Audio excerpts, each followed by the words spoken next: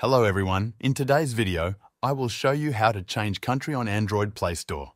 To get started, unlock your Android device and open the Play Store app. Make sure you're signed in with your Google account. Once you're inside the Play Store, tap on your profile icon in the top right corner of the screen. This will open a menu where you need to select Settings.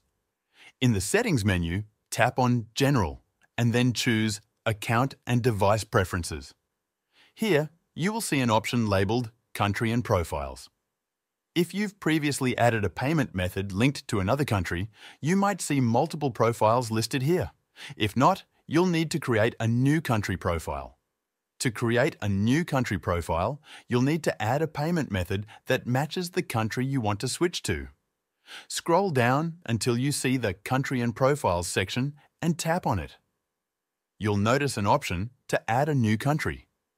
Tap on this option and then follow the instructions to add a payment method for the selected country. This is important because Google uses the payment method to verify your location. Once the payment method is added, your Play Store will automatically switch to the new country. If the country doesn't switch immediately, you can force the update by restarting the Play Store app.